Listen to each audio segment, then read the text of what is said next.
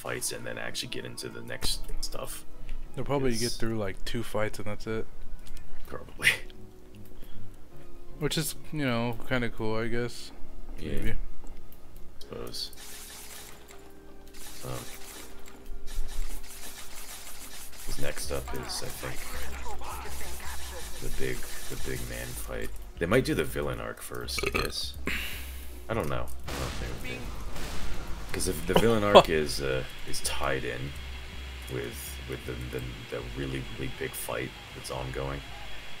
I mean, it is finished that? in the manga. Uh, the the super giant mega hyper fight is when um. Oh! I watched it